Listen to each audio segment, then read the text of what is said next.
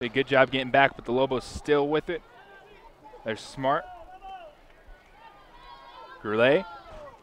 Hansen. What a play. Niko Hansen gets it by William Pyle. The magic feet of Niko Hansen. Goal number two for the Lobos. And you can't overstate just how much the move he did to sell that defender does for him. And then it also draws the goalkeeper into a position where